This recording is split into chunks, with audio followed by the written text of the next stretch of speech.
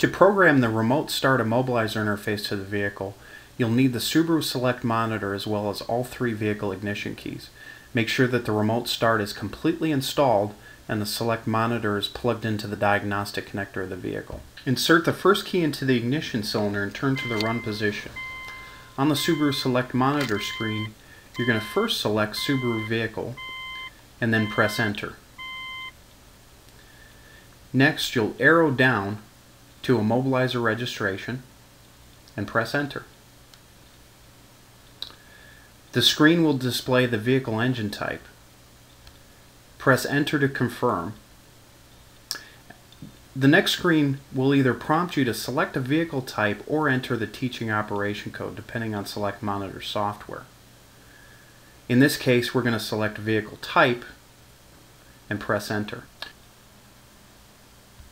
You'll confirm executing key registration by pressing the enter button.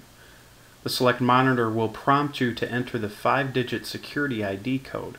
This is a vehicle-specific code that's located on the large keychain tag. Using the arrows, you can enter the 5-digit code.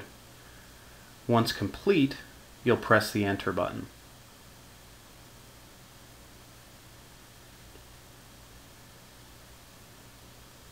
You'll confirm again executing key registration and the select monitor will complete its registration of the first ignition key.